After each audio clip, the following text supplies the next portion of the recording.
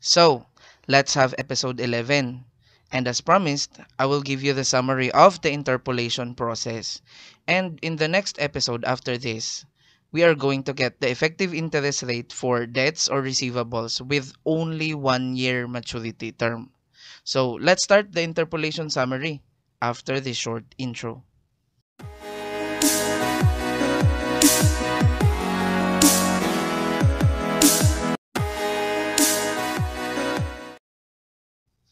So let's have the summary. So the ultimate goal for summarizing the interpolation process is not just to summarize, but also to remind you very important things so that you'll be able to get the effective rate faster. And actually, if you will not follow the process that I will tell you later, then you'll be wasting your time, especially in the trial and error phase. Because let's face it, there are a lot of rates that can be tried, and there are a lot of rates that can be the effective interest rate.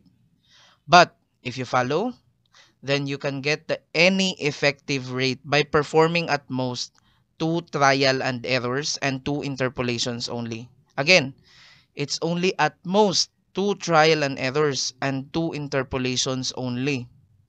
And in order for me to be effective in discussing, so let's have this. So this is the problem that we have been solving for in the past episodes. And you are already familiar with it, right? So let's start with the reminder number one, which is you need to know when to interpolate. So when to interpolate? Answer, if there is a problem where someone incurred a debt, but there is no interest rate given.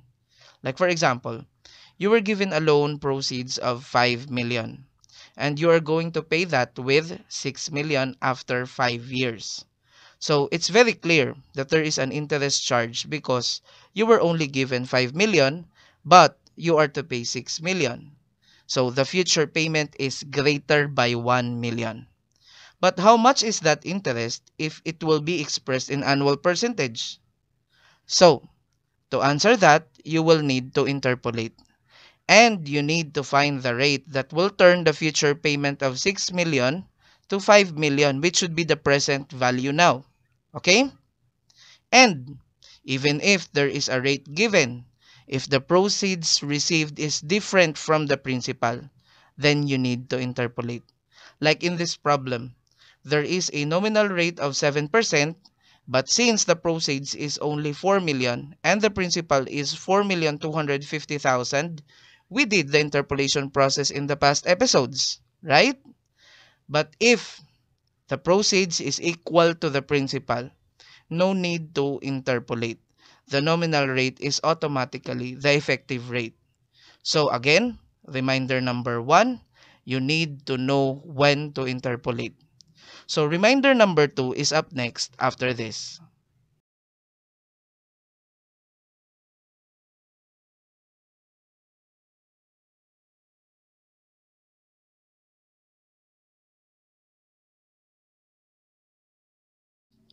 Reminder number two. So before you do the trial and error, you need to consider this because these things have already been proven in the past episodes. So number one, if proceeds is equivalent to the principal, then effective interest rate is equal to the nominal rate. And number two, if proceeds are lesser than the principal, then the effective rate must be higher than the nominal rate. And again, this has already been proven. And lastly, if it's the opposite, and the proceeds is actually higher than the principal, then effective rate must be lower than the nominal rate. And if you consider these three, then you'll be able to determine if the effective rate is below or above the nominal rate. And it will narrow the options for the effective rate that you're looking for. And if you can still remember, we tried a rate higher than 7% in this problem because the proceeds here is lower than the principal. So that's reminder number two, which is to consider this in order to know if the effective rate is higher or lower than the nominal rate. Now let's go to reminder number three. So this is already during the trial and error. So during the trial and error phase, use the nominal rate plus 3 to 5% or minus 3 to 5% depending on the proceeds versus the principal amounts. So what do I mean? Example, in the past episodes, we used 7% nominal rate plus 3%, which is why we tried to get the present value using 10% rate. And this was our computation. And again, we did that because the proceeds received here is lesser than the principal. Well, if it's reversed, so in this example, if the proceeds here is greater than the principal, then I should have tried nominal rate of 7% minus 3% or the 4%. Anyways, you can actually use plus or minus 4 or plus or minus 5%. It's up to you actually. Well, to be honest, this plus or minus 3 to 5% is just based on my judgment and many experiences in solving problems.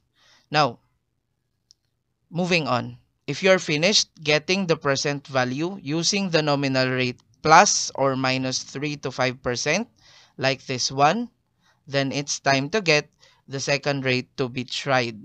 And that would be on reminder number 4.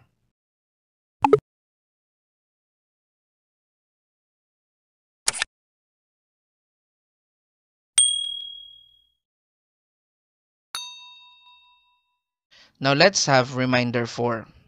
So reminder 4 goes like this. So use the nominal rate and the principal as one of the trial rates and the present value in the trial and error phase. And this is done in order to save time. Because again, it has already been proven that if you use the nominal rate in getting the present value of the principal plus the present value of the interest, you will actually get the principal amount as the present value. So if you do that, then the two rates that you tried and their present values should be arranged like this, with x on the third line as the effective rate and that is equal to the desired present value which is in this problem is 4 million. So, moving on, we have reminder number 5 which is the interpolation process already. So to remind you of the interpolation process, as I have told you, it starts with putting the brackets. And next is getting the differences of the numbers enclosed in the brackets. And then you can make two fractions already.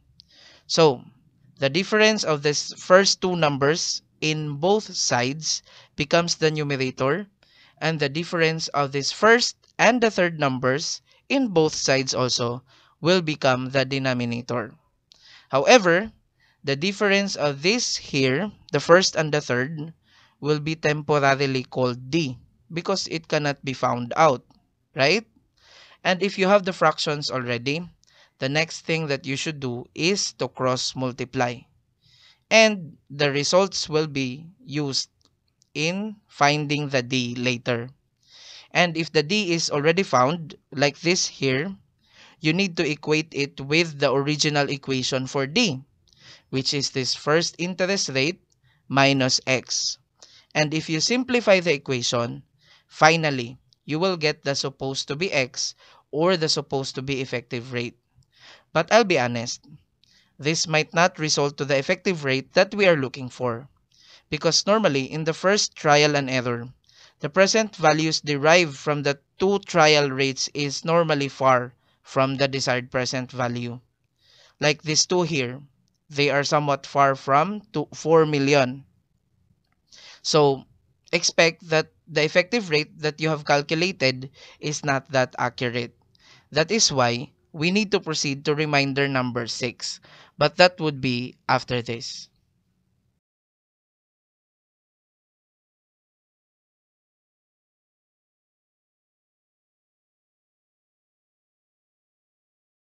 So, reminder number 6.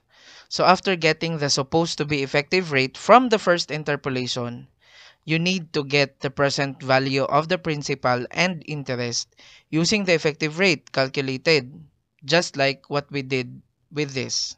So this is our calculation in the past episodes. And after that, we have reminder number 7. So reminder number 7, if the PV is a little bit far from the desired present value, then we need to repeat the trial and error. And we need to use the effective rate computed and its present value as one of the trial rates. And in the past episodes, we did that. And the results of this one were used here in the first line. So how about the second line here? How did we fill this up? So that's on reminder number 8. When deciding for the second trial rate, remember that rates and PV amounts have an inverse relationship. So you either increase or decrease the first trial rate. So what we did in the past episode is reduce the rate because we wanted to increase the PV amounts from this 3,993,681 to 4 million. Okay? So guys, always remember that rates and present values have an inverse relationship. Meaning, if you wanted to increase the PV amount, then you need to lower the rates. And if you wanted to decrease the PV amounts, then you need to try higher rates. So that's reminder number 8. Now, let's go to the last reminder, reminder number 9. So, if there are already two rates with their present values, and those present values are very near to the desired present value. Just like these two here. They are very close to 4 million. Then, interpolate again for the last time. So, that's it for interpolation. So again, if you follow those reminders and steps, you can get the effective interest rate in just two interpolations.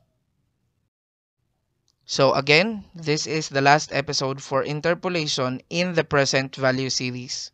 And actually guys, I have another method of interpolation. So it's different. And it was discussed in my past videos on time value of money. So if you want to see that, go to my channel and go to my playlist and select the time value of money playlist or the mathematics of investment playlist. So, in the next episode, we will get the effective interest rate for debts or receivables with one year maturity term only. So that's it for this video. And if you learned, please click like, subscribe, and hit the notification bell and select all to be updated on my next videos. Thank you for watching and see you on the next one.